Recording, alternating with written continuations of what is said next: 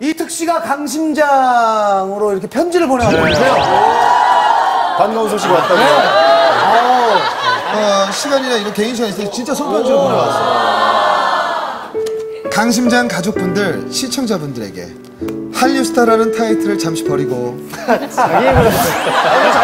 그만합시다, 그만합시다. 자, 그러면은 예, 오늘 첫 번째. 하여튼 본인이 불러. 한류스타라는 타이틀을 잠시 버리고 대한의 건화로 거듭난 85번 훈련병 박정수입니다. 어, 85번이군요. 전 이곳에서 아주 잘 적응하며 건강한 생활을 하고 있습니다. 슈즈의 리더에서 이젠 군 리더로 240명, 240명을 대표하는 중대장 훈련병을 맡게 됐습니다. 이곳은 10시 취침 시간인데 늦기만 하면 동엽이 형의 19금 멘트들이 떠올라 계속 잠을 설치고 있습니다. 이곳에서 상상하니 아주 미치겠어요.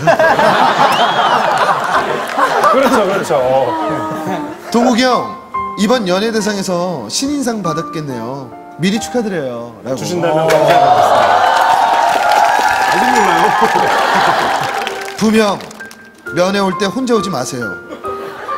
진심이니까. 웃지 마요라고 써있네요. 예. 어, 무서워, 무서워. 지켜보고 있어, 지켜보고 있어. 은혁아 형 간다고 좋아했지? 너도 얼마 안 남았어. 그리고 경림이 누나와 줄이 잘 지내죠? 군대 와서 새로운 사실을 알았어요. 제 동기들이 두 분이 이쁘대요.